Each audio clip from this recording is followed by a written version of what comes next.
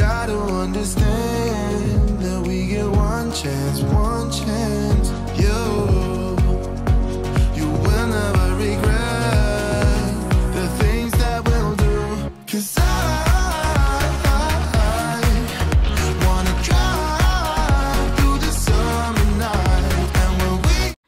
Hey, what's your favorite way to read a book? Mine is definitely a hardcover book in my hands, reading it, taking my time, underlining, copying, all that good stuff. But this year, I discovered that if I listen to audiobooks, I might not get as much out of them, but I can listen to way more and still get some good stuff out of them. So ultimately, I feel like I'm getting more good stuff than if I was only reading books with my eyes um, that were right in front of me. So I set a goal for 2023 to read 20 books, and this year I read 44 with the help of audiobooks.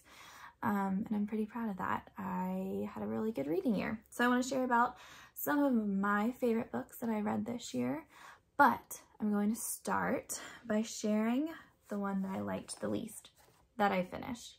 I do not finish every book I start. There are plenty I know I put down this year, but I can't even remember what they were. Uh, once I close it, I'm like, out of sight, out of mind. But um, I think it's always helpful to know what book somebody really dislikes, like Tuck Everlasting, Watership Down. if you don't like those, or if you do like those, I should say, I'm probably not the person to continue listening to right now.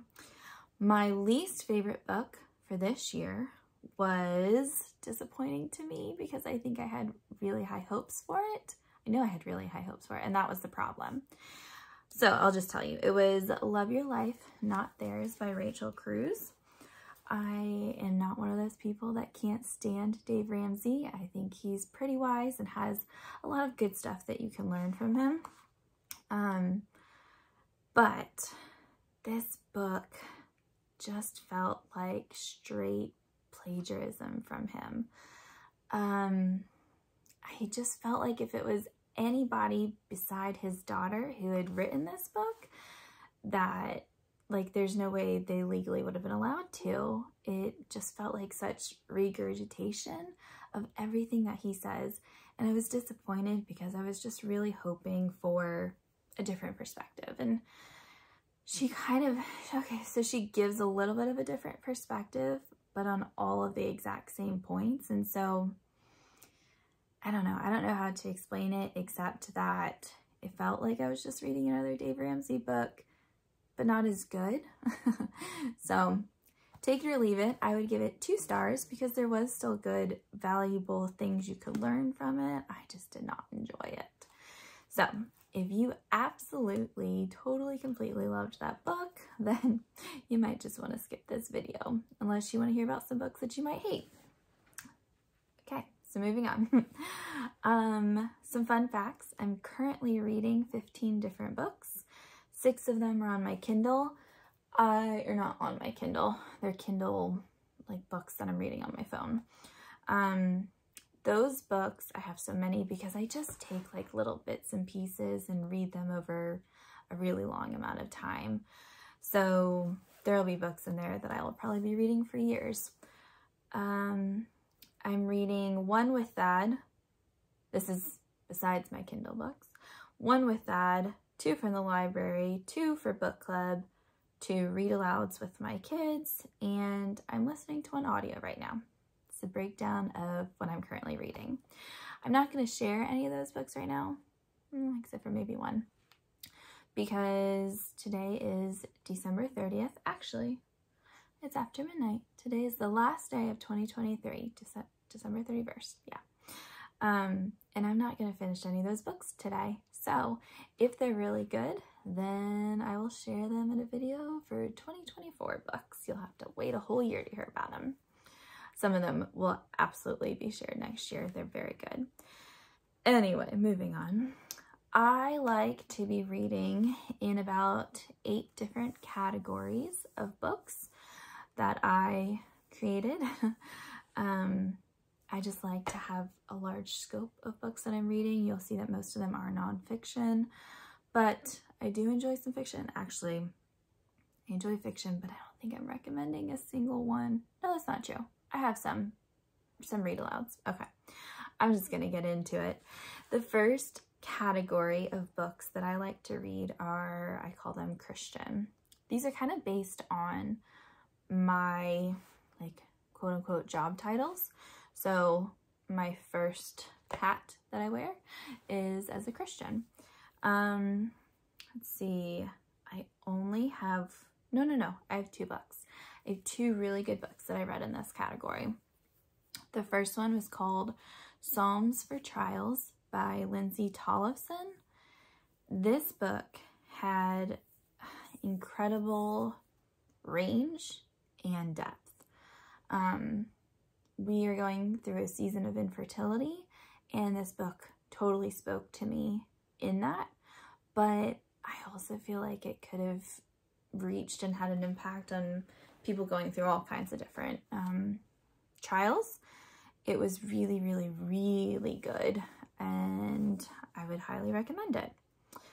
The second book that I loved in my Christian category was a Christmas devotional. It's called He Rules the World, a holly jolly collection of Christmas devotionals for everyone by Ben Zornes. This book um, had 25 different categories for, or 25 sections for the 25 days leading up to Christmas. I just listened to the entire, it was only maybe like an hour and a half, two hours. Um, just last week. So I was getting ready for Christmas and I had a lot of stuff to get done and I just wanted something Christmassy to set my heart right as I was getting all this stuff done. And I found this book. Um, it was so good. So, so, so good. I would like to really buy a hard copy and go through it nice and slow one day at a time next year. But I want to read you a quote from it. Ben said. The pagans were trying to get back to Eden the way we all do, by their own superstitious works of self-righteousness and worldly philosophy. However, the only way back to the tree of life is through the tree of Calvary. And at Christmas, we remember that the child born in Bethlehem would one day hang upon a tree for the forgiveness of our sins which is why we ought to celebrate with gusto. I love this quote because I have been really convicted this season.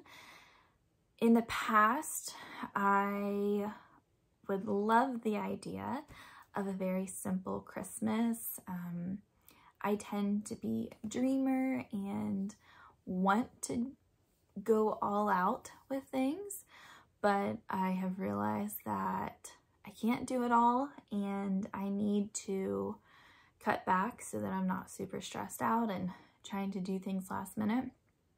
Um, I definitely dreamed too much this year, but my heart was in a much better place this year. I just was very convicted in the fact that two things, like he said, that it's because Jesus was born to die, to save us, that we celebrate Christmas. And I have been working really hard to let my joy be the witness, the testimony, and that we get to celebrate Christmas. And it's such a wonderful, wonderful thing because Jesus saved us. So that's one. Two, in the whole light of wanting our children to grow up to want to come home and want to spend time with us when they're older, I think it's really important to do Christmas right now, to have traditions throughout the year, but especially at Christmas, that one day when they are out of my home and you know, if they're not having a good Christmas, if you imagine um, the prodigal son. when he was at a low point, he thought you know, even the servants in my father's household live a better life than this. He knew that his dad knew how to do things the right way and have a good life. And I don't ever want my kids to be eating pig food, rolling around in mud, but I do want them to look back and think like those were good memories. And I want to recreate those for my family. And I want my family to be a part of those traditions and um, that kind of general idea. I hope that makes sense. So that book was really good. I could say more about it, but I will go on. My second category of books is wife slash homemaker, my second hat that I wear. Uh, the first book that I'm going to recommend is called Why We Sleep, Unlocking the Power of Sleep and Dreams by Matthew Walker. This book probably doesn't sound like a marriage or homemaking book, but I read it because my husband's a firefighter and he doesn't get to sleep very much um, or get good quality of sleep because he's interrupted in the middle of the night quite often. And I just wanted to read it and maybe get some helpful tips on how to get better sleep, like for when he is at home. Can't say I necessarily got that. It's not that there weren't good tips in it, uh, but that's not what the book was about. It was a lot of scientific studies explaining the benefits of sleep, and that was really fascinating. I will never look at sleep the same way. In fact, looking at the clock right now, I should probably be sleeping instead of making this video, but what are you gonna do? All right, so moving on, the next book in this category that I thought was fantastic is called Married Sex, a Christian Couple's Guide to Reimagining Your Love Life by Gary Thomas and Deborah Fileta. This book I would recommend to everyone. Honestly, I think every married couple should read this. It was really good. Just overall, nothing, I mean, obviously the category was sex, the topic was sex, but the book was fairly general and yet very solid. Really, really, really good. Uh, let's see. The next book I have, this is more on the homemaker side. It's called How to Manage Your Home Without Losing Your Mind by Dana K. White. This book was fantastic. Dana's hysterical. And if you, like me, ever feel like you are a creative, but also cluttered type of person, this book is probably for you. I started listening to Dana's podcast, A Slob Comes Clean, years ago. And I have learned so many good things from it that have helped me. Um, for example, when you are picking up clutter, start with trash. It's very, very simple. If you're like overwhelmed by a room full of clutter or a house full of clutter, go around and just pick up all the trash. And then go through again and pick up all the easy things, the things that are like, I know exactly where this goes. If there's a dirty sock on the floor, put it in the hamper. If there's a cup on the table, put it in the dishwasher. Simple, like there's no hard thinking with that stuff. Then after all the easy stuff is done, go back through and the things that like when you look at it, you don't immediately know where it belongs. Those are the things you put away last. So they take the most brain energy.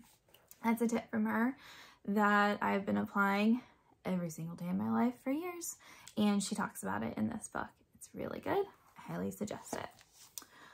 Moving on to my last book in this category.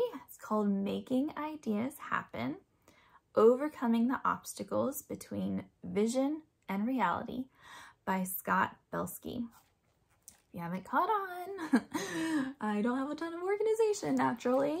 Um, but there was an idea from this book. It's it's not written for homemakers.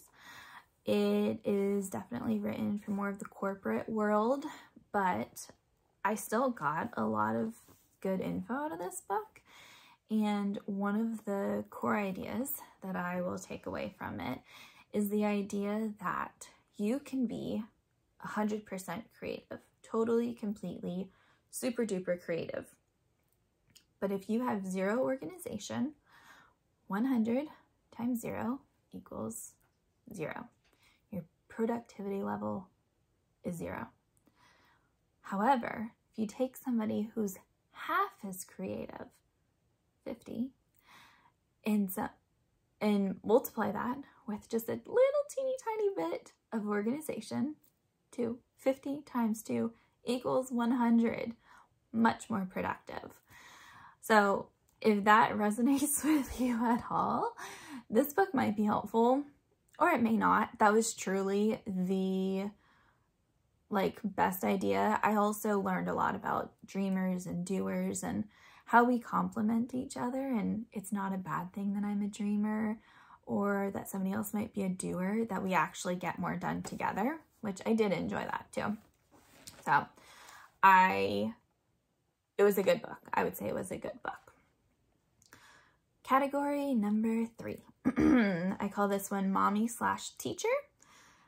The first book I would recommend is another one that I would say is for everybody. This is a book I would and have now give for baby shower gifts. It would be a book to read while you're pregnant, maybe even before you get pregnant. This book is really good. Finally, read Risen Motherhood Gospel Hope for Everyday Moments by Emily Jensen and Laura Wifler. We went to our friend's wedding up in Virginia in April this year, and the Airbnb that we were staying at had this book. I was so excited when I saw it. We were only there for, I don't know, maybe like three or four nights. So I knew I had to hustle to get it read, but I did. And it was totally worth it. It was so, sorry about that. Not sure where it cut me off. My phone storage is full. I had a podcast on my phone taking up over 10 gigabytes of space. It's gone. Um, I was talking about Risen Motherhood somewhere, somewhere about our Airbnb, I think, and now I had to read it super fast, but it was wonderful, and I would now recommend it to every Christian mommy in the world. Uh, let's see here. My next book. Oh, this one again might not sound like a obvious one for this category, but it's called Eat Dirt why leaky gut may be the root cause of your health problems, and five surprising steps to cure it by Josh Axe, aka Dr. Axe. This book is in this category because we're trying to have a baby. So, um, you know, reading about different health things and whatnot. This book is now the reason why I drink kefir smoothies make my own kefir. Lots of progress this year. There was some really great information in this book. I would highly recommend it to many people, and I have. I could not stop talking about it while I was reading it.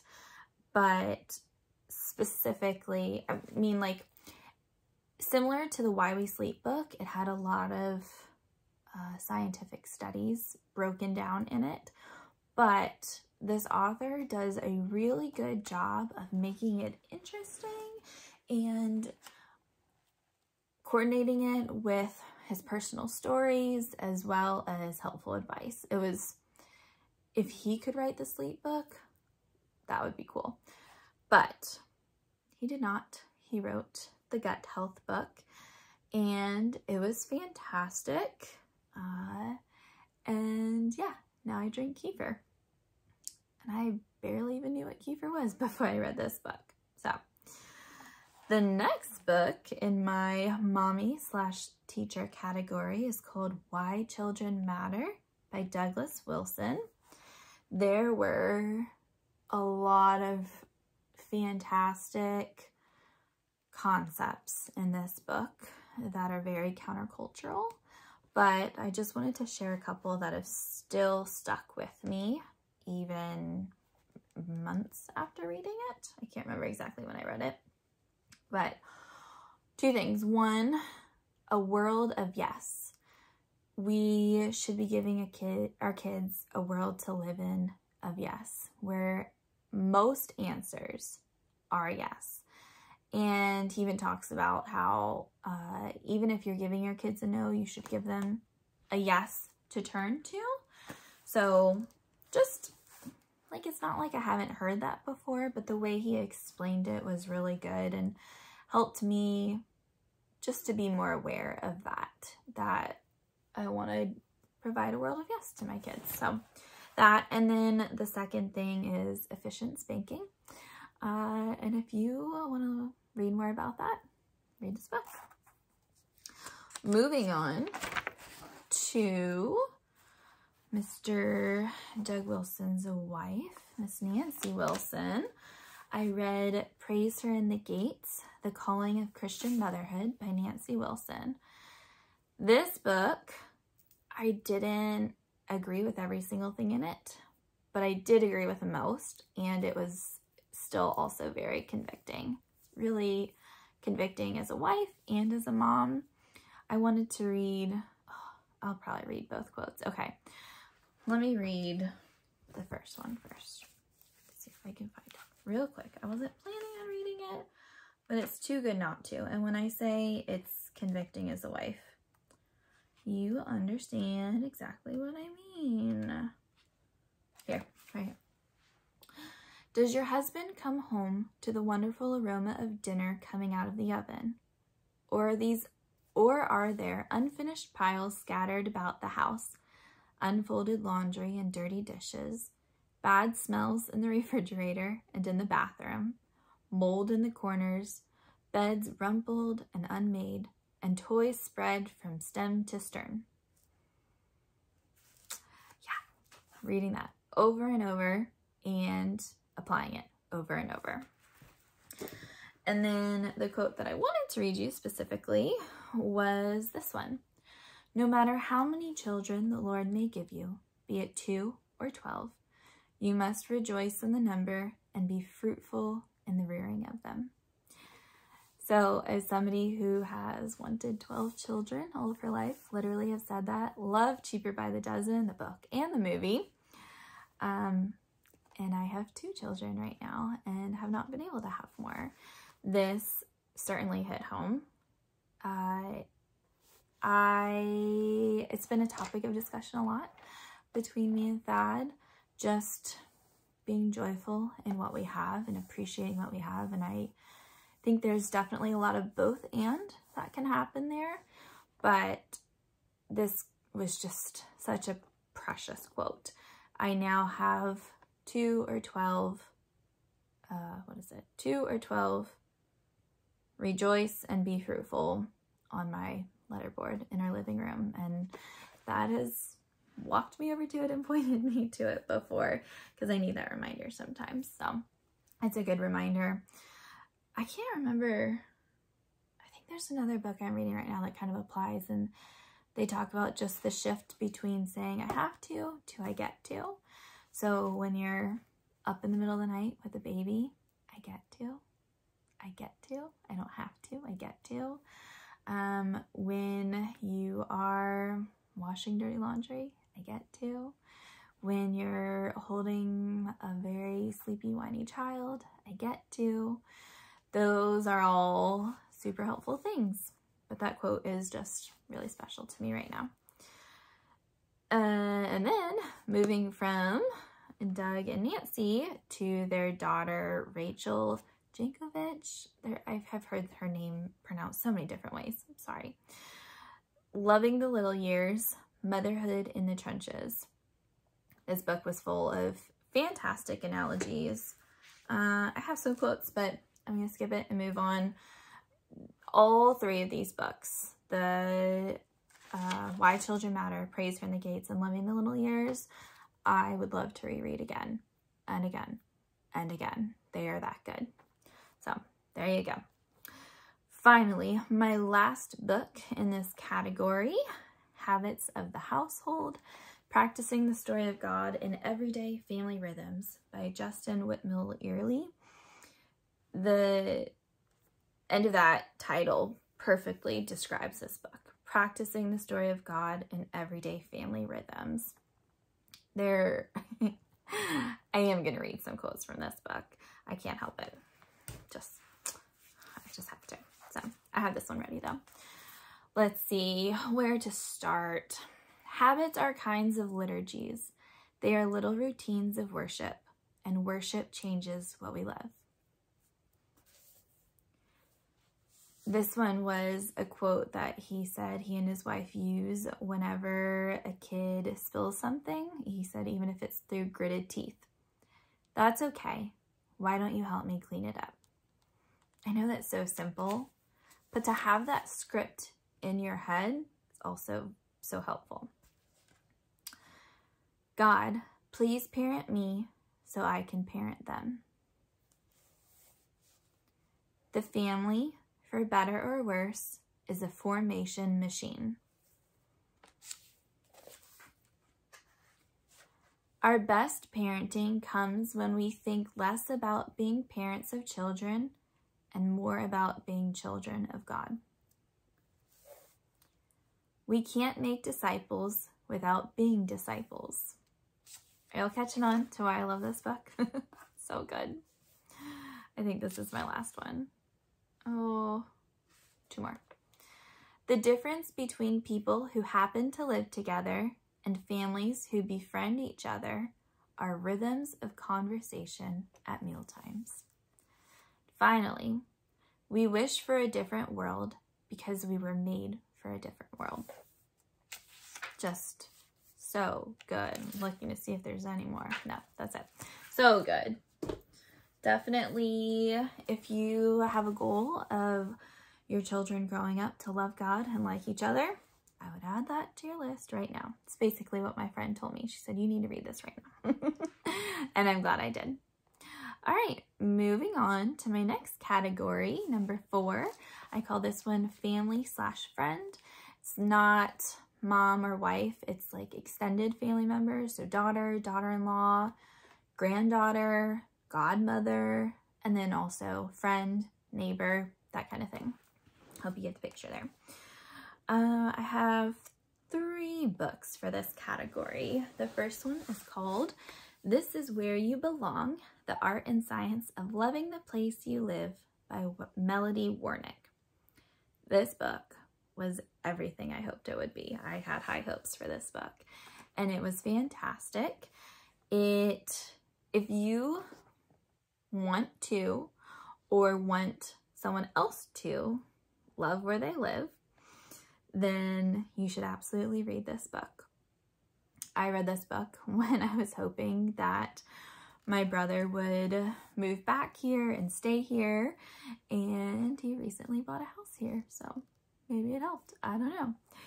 It just gives a lot of fun facts and little stories and practical advice. That seems to be what I really like is like a good story, a fact, and application. Kind of sounds like a good sermon. um, so yeah, this book was fantastic. One of the things that they suggest, I'll give you one that she suggests, is doing fun stuff, no way, uh, in the place you love or in the place you want to live. And I have a theory that there are just a few things that you could say are to credit for siblings who grow up and like each other. And one of them I would say is that they're able to still do fun stuff together, have done and still do fun stuff together. So it makes sense that doing fun stuff in the place you live might also build an attachment there. So tonight we went and looked at Christmas lights. So let's think these were some of the things. We did a fun thing. We went and looked at Christmas lights. We did it with my parents. So we did it with people we love, which is also another way to build place attachment is to not only get to know the people there, but do stuff with them. And then, and I may be mixing this up a little. It's been a long time since I've read this, but general idea. And then it was outside which is getting outside is another thing we went to a local, uh, like a very specific local place. I think that kind of goes in line with do fun stuff. Like it's something, I don't know, maybe not. That might be more another one. We ate at Steak and Shake in Kilwin, so those aren't local eateries, so that doesn't really count. But we built a lot of place attachment through other ways tonight. So that's just a quick example of some of the ideas in that book. All right, my second book for this category is called Face to Face Meditations on Friendship and Hospitality by Steve Wilkins. I don't have a lot to say about this book except it was long and wonderful and just such a holy perspective, such an eternal and holy perspective on friendship and hospitality. It was really good. Finally, sorry, finally, uh, just open the door. This was the last book I read. Just open the door. How one invitation can change a generation by Jen Schmidt. This book was wonderful. I loved the whole thing. I have a friend who I always joke and tell her that her spiritual gift is inviting people to do things. And I wholeheartedly believe that that is a ministry in, in and of itself. To make people feel welcome and to open your heart and your home to them can make not just an a difference for a generation, but an eternal difference. I totally believe that. I've seen it. And this book testified to that. Next category. This one I call fun slash fiction slash memoir. In other words, a story of some type. I didn't specifically intend to read any books in this category this year. I just didn't get to it with like the book club and library priority books and all that good stuff. But um, when I read the married sex book, we were going through like a thing in our mom's group at church where we were talking about sex. And so I was reading a bunch of books about it. And this one I read, and it could totally apply to the marriage category, but it was a really good story, more, I would say. It's called Sex, Jesus, and the Conversations the Church Forgot by Mo Isom. I would absolutely give this to my teen daughter if I had one.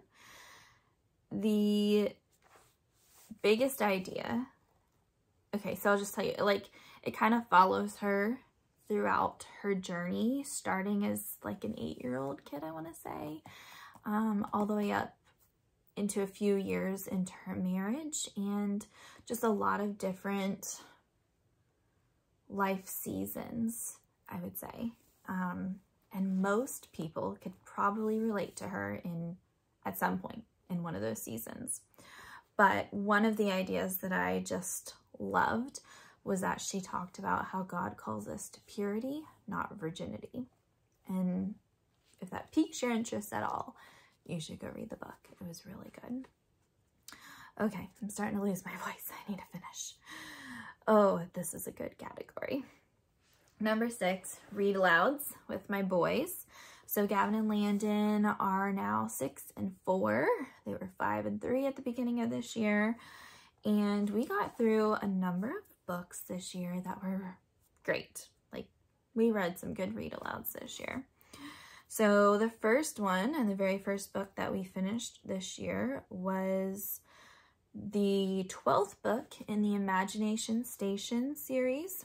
It's called Danger on a Silent Night by Marianne or Mariana Hering. Um, I enjoyed it. The boys thought it was a little creepy at times. It had a lot to do with King Herod hunting down Jesus. So there's like a mystery sense to it. Um, and my kids are not huge on anything scary at all. But I think it would have helped. This was our second Imagination Station book. I think it would have helped if we had started from the beginning. they weren't super into the characters because they didn't totally understand the whole like teleportation thing. So if you are going to read those to your kids, I'm I'm hoping that mine will pick them back up for themselves to read one day because I did really enjoy the two that we read and there's like I don't know 20 or 30 of them or something. Um but I would definitely suggest starting in order at least with the first couple. I've heard that it kind of explains the the situation and how things work better if you start from the beginning. The next series that we read, we read all of them. It was the Lulu series by Hilary McKay. The first book in the series is called Lulu and the Duck in the Park. I am not an animal person, but I thought each of these books, which have to do with a different animal and a girl who's obsessed with animals, were adorable and hysterical. These books were just a delight. We loved them.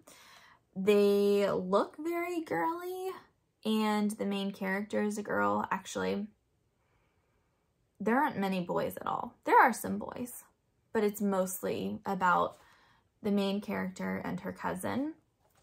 Um, and like I said, they look very girly, but my boys loved these books. They thought they were great. So I would really recommend those. I know I keep saying that. I'm sorry. That's got to be annoying by now. I would suggest skipping the third book in the series. Sorry, I didn't write down what that one's called. But the third one, it was fine, not terrible, but she just had a lot of like, she's just disrespectful to her grandma a lot, especially. And it was never addressed. It was just kind of ignored or laughed at that she was being rude and disrespectful. And I didn't love that. So nothing too crazy, just I would have skipped it if I had known. And if I ever read them again, I will skip it. This could be my favorite book I read all of this year. It's possible. Jotham's Journey by Arnold. I have no idea how to pronounce his last name. It's spelled Y T R E E I D E. So Y triad, E triad, I'm not sure. This is a book that is set up to be an Advent reading. So there's one reading for every single day leading up to Christmas, starting with the first day of Advent. It's really neat. Oh, I should have grabbed the one that we have to show you. It's neat because in the back of the book, you can look up the year that you're in and it tells you what day Advent starts on and like I think maybe what day Christmas and Christmas Eve fall on that year. Um, so you know exactly when to start reading it because that's actually how it describes it. It says like this chapter read the first week of Advent and it tells you like the first candle of Advent or the first the first day of the first week of Advent, then the second day of the first week of Advent. It goes on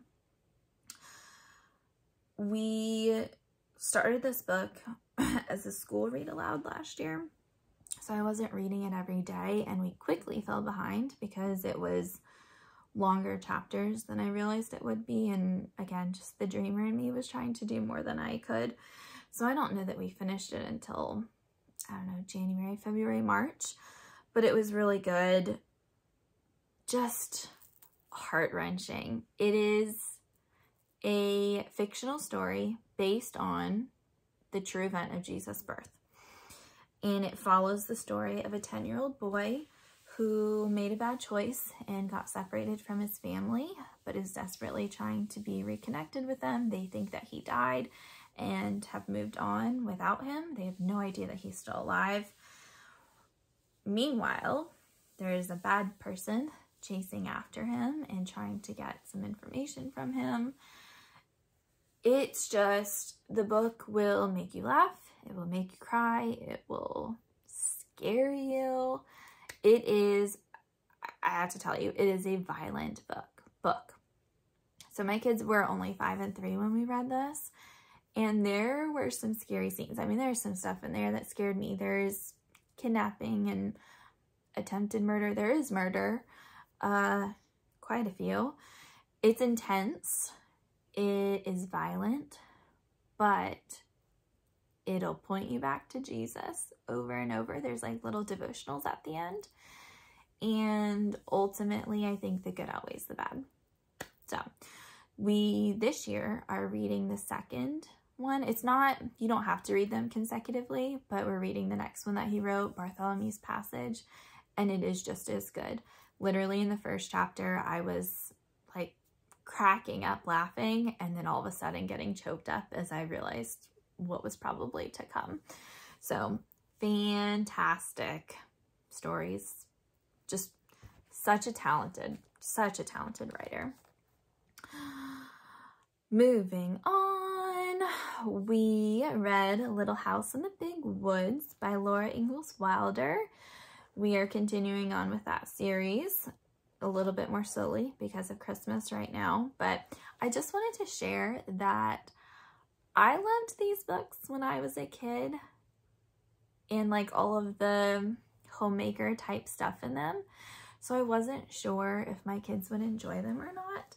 But these books, especially the first, especially the first, totally for boys. Like there is adventure, there is danger, there is just general manliness and challenges and family protection and just all and, and provision. I, I could go on and on. I was shocked and it is absolutely for boys. So I just wanted to share that. We also read our first YWAM, YWAM book. We read Hudson Taylor, Deep in the Heart of China by, I don't know how you say their names either, Jeanette and Geoff Benge. I always want to combine his name and say George when I'm reading it quickly. We did this one as part of our school lessons. Is it, I think it's not consumed. I bought these from and also bought some like curriculum stuff to go with it where we do a little bit more of a deep dive into each of the missionaries and whatnot. So thoroughly enjoyed that. It was great. I love it's very open and go type of a deal, but his story is so cool. We all really enjoyed uh, learning about Hudson Taylor and I can't wait to learn about other missionaries too. I'm really looking forward to that. Finally, I just want to share one more Janette Oke's Animal Friends series. These were super cute. They're short chapters, but there's quite, maybe, I don't know, I would guess maybe like 20 chapters in a book. Um, so you could drag it out a while, but the chapters are only like a page or two. So we ended up reading each of these books, like one whole book in one night. And it took probably about 45 minutes to read one of these books. But they were adorable and would be great for somebody who's first getting into read alouds to do it just by chapter and maybe like a couple chapters per night instead of the whole book, obviously. But because they were short, it would be great for that. And they're just super wholesome and Christian and cute little animals and all that good stuff, all the good stuff. All right, my seventh chapter I'm calling With Thad. uh, I We've been reading the same book forever though. We are reading Dr. Dobson's Nightlight devotional. I can't tell you how many times we've read the first week of that devotional, but I'm trying to be more uh, disciplined and actually read the whole thing because I have a list of other books I would like to read with him. We we typically only will read a little bit of it though when we're like on a date in the car by ourselves is the most common time that we do that. And he's in medic school right now so it's not happening very often. But you know we'll see. We'll see next year if we've moved on to a new book or not. Probably not.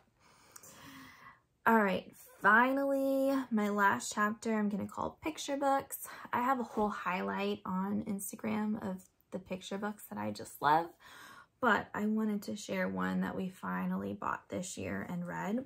Good Pictures, Bad Pictures Junior by Kristen Jensen. It's a simple plan to protect young minds.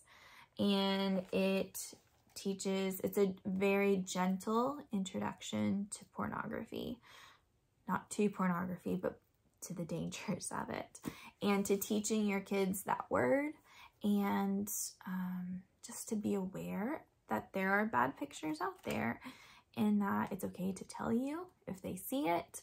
It just gives them the language and the tools to know what to do because the average age of introduction is now like eight years old. So definitely you want to be the one to uh, teach your kids about it before they discover it and somebody else teaches them about it. So those were my 2023 books. I hope that one of these books piqued your interest and that you want to add it to your Goodreads list right now. And hopefully yours is as long as mine, your TBR list, because reading's good for you. And I think there's a lot to learn in loving God and raising kids who like each other and love God. And it's late, so I'm to go to bed. Have a happy new year, everyone.